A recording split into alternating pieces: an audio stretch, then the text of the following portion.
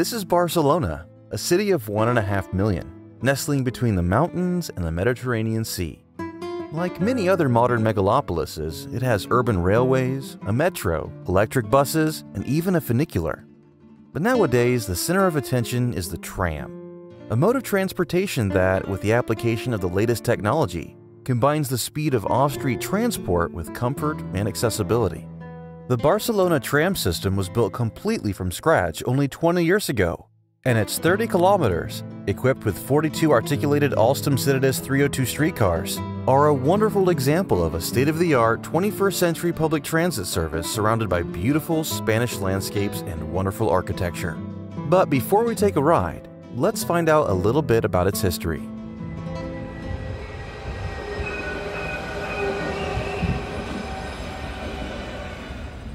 This historic Barcelona tram was filmed entirely in black and white. It fit perfectly with the insane street traffic of those days, and in 1929, the network reached its maximum extent, comparable to the metro network we have today.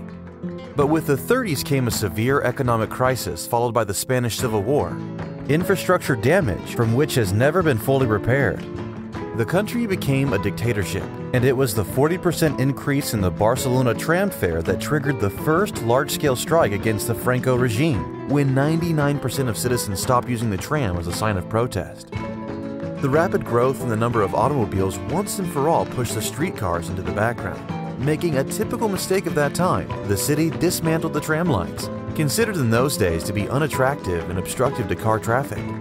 In 1961, these used trams from Washington, D.C. would be the last vehicles the city of Barcelona bought. Ten years later, the last two remaining lines were closed. In the 70s, the oil crisis momentarily made them question their decision.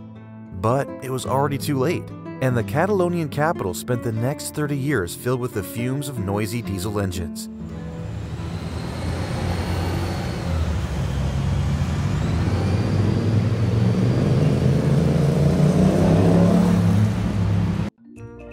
Barcelona's modern tram system opened in the spring of 2004. Built from scratch, it consists of two separate networks in the outskirts at opposite ends of the city. The first one is called Trambaix, after Baix Llobregat, the area around the Llobregat River, which forms the western border of the metropolitan area. The other one is Tram Besós, named after the Besós River, part of the eastern border of the city itself. The longest tram route, number 2, belongs to the Western Trambaix network and starts on a minor one-track line in the town of Despí. At each station on the route, a second track allows oncoming trams to pass each other. Service frequency here varies from 12 minutes during rush hour to 20 minutes at weekends. Throughout the entire length of the system, tram lines are completely separate from car lanes and, whenever possible, laid on a green roadbed. Spain is a mountainous country, and we'll see lots of beautiful climbs and curves along the route. Passing beneath a bridge that carries one of Barcelona's seven suburban railway lines, we drop down towards the center of the town and pull up at the beautifully named tram stop Bon Viatge, which is Catalan for Bon Voyage, named in honor of the nearby chapel of St. Mary of the Good Trip. This is where the double track line begins, and route number one joins us until the end of the journey, having the interval between trams. This is a nice town. Like most of the Barcelona suburbs, it has a thousand years of history and numerous architectural sites. But the tram travels along the edge of the urban area, and just beyond these nine-story concrete blocks of flats are the vegetable farms of the Llobregat River Valley Agricultural Park. The river has fed and watered Barcelona for many centuries, and in honor of that, an old water pumping station has been converted into a wonderful water museum, featuring all of the building's original steam-powered equipment. To leave the valley, the tram must make a demanding uphill climb. This is the steepest slope in the entire Barcelona tram network, 7.5%, and one of the many impressive vantage points.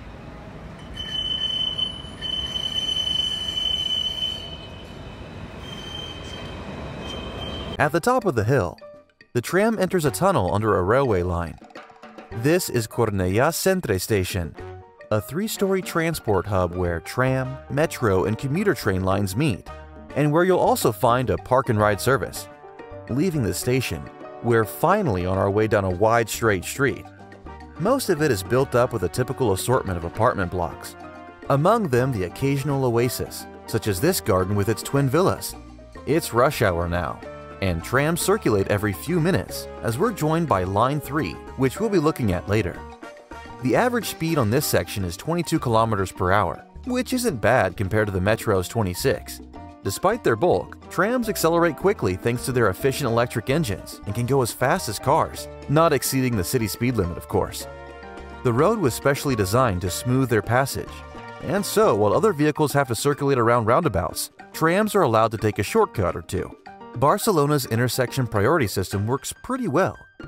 At most crossings, red traffic lights turn green on the tram car's approach. With all the benefits of off-street transport, but affordable and pleasant to use, 21st century trams are truly the number one transit system in a modern city. And here's the next town on our journey, Esplugues de Llobregat, featuring iconic symbol towers. Three 17-floor concrete blocks, decorated with dark brick and light artificial stone, and sharing a common ground floor. Barcelona is known primarily for Gaudi's modernist gems, However, the tram gives us a glimpse of the other side. The rails across the B20 motorway, part of the Barcelona Ring Road, and the Paradise City gets closer with every minute. Shopping malls get fancier to match the exquisite taste of the capital's residents.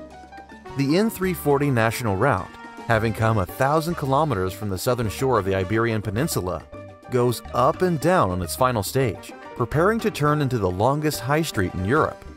On our left, we see the main building of a major electricity substation in Collblanc.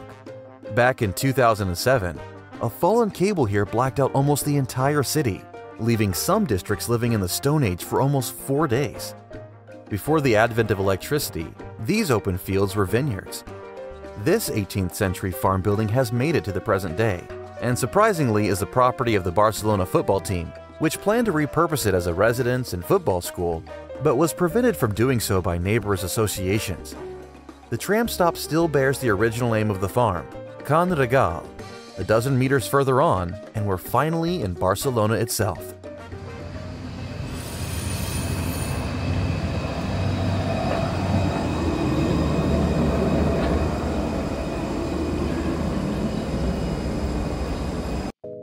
The capital greets us with one of its many urban gardens, City Hall hands these plots of land to pensioners for free to make the city greener and engage its senior citizens in physical and social activity. Here, people grow vegetables, herbs, and seasonal flowers, and city kids can learn about where their food really comes from. The tram stop here is a bit unusual with three tracks instead of two. The middle one isn't in use at the moment, but the platform's been built, and in the future, when the two tram networks become one, it'll be used to reverse the tram cars on a new route that'll be serving only Barcelona itself. Our tram continues its journey past the high fence of the Royal Polo Club of Barcelona. This is a sporty district, and the famous Camp Nou football stadium isn't far from here. Next, it's Zona Universitaria, a university district that's home to half of the faculties of Barcelona University and the entire campus of Catalonia Polytechnic University. During the construction of the tramway, they evidently made no compromises. Because the street was only two lanes wide, they closed it to regular traffic and left it for the exclusive use of pedestrians and trams. From there, the line turns to the Diagonal, Barcelona's widest, poshest, and most important avenue.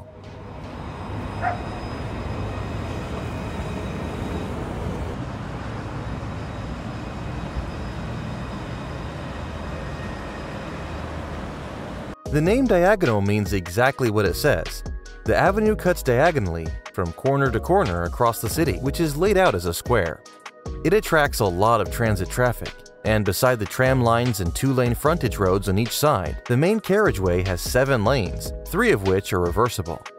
This noisy avenue is surrounded by peaceful areas of greenery, with the Collserola Mountains in the background. The brutalist concrete buildings of the Faculty of Economics and Business adjoin the elegant gates of the Pedralbes Palace Gardens. The faculties of physics and chemistry are just across the street.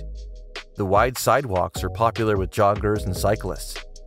After passing Pope Pius XII Square, the diagonal turns into a business district. The jewel of Barcelona's business architecture is the headquarters of CaixaBank, consisting of two dark skyscrapers crowned with a rotating company logo, and a third, smaller, cube shaped building.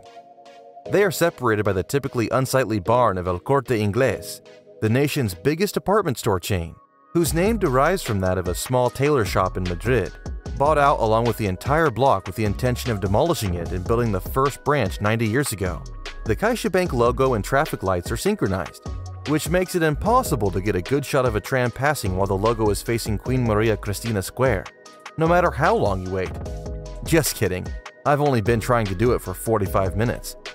Another interesting building is the one that was originally built for the now defunct Banca Catalana, a masterpiece of vertical landscaping that inspired the shift from traditional Barcelona architecture to newer trends at the beginning of the 70s. The area also includes some interesting residential buildings, like this complex of seven apartment blocks. Barcelona 2 opened in 1966. The building facing the diagonal is much fancier than the others, and all of them share a common commercial ground floor.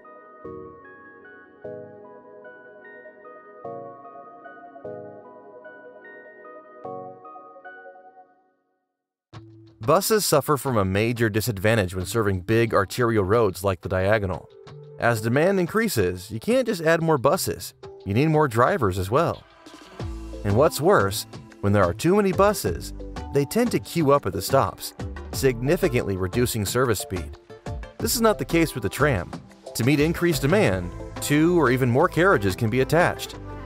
Tram stops in Barcelona are all 60 meters long and can accommodate trams that are double the length of the five-section articulated Alstom Citadis 302 streetcars that are normally used. The option of extending the vehicles will be invaluable when the two isolated tram systems are connected to form another rapid transit line running through the entire city. And although it won't be able to compete with the metro on long end-to-end journeys, many underground users will save time thanks to more frequent and convenient stops, and the absence of lengthy passages, staircases, and escalators. The long-term plan for the new Barcelona tram never envisaged two isolated networks. They were always going to be connected.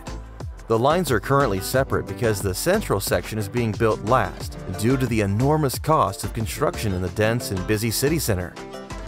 Apart from technical difficulties, there are political obstacles too.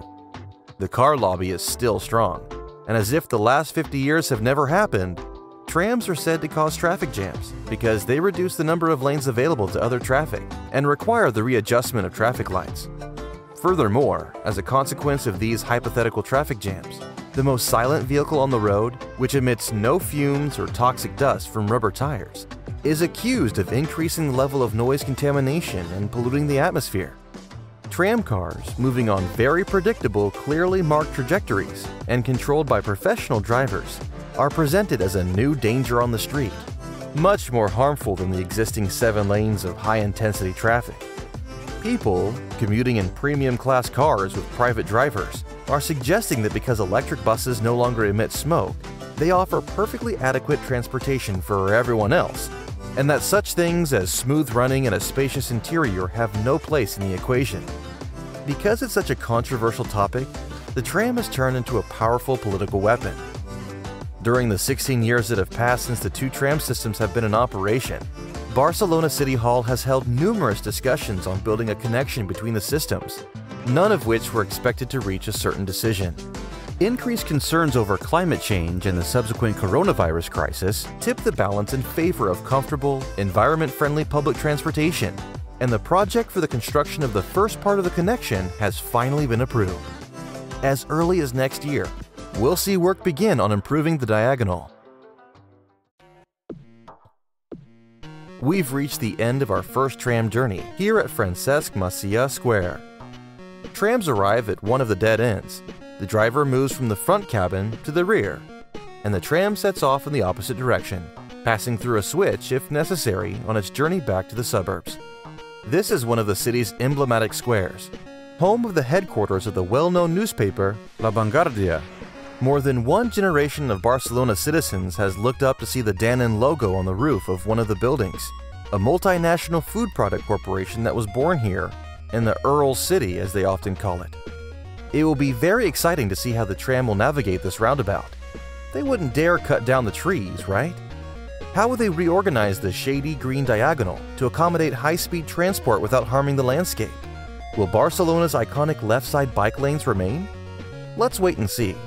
The future is inevitable, and countless asphalt squares will sooner or later be converted into green spaces. Diagonal Avenue, with all its modernist architectural jewels, will become one of Europe's most beautiful tram rides. Reaching Glories Square, Barcelona's eternal construction site, where once again we can see the trams circulating.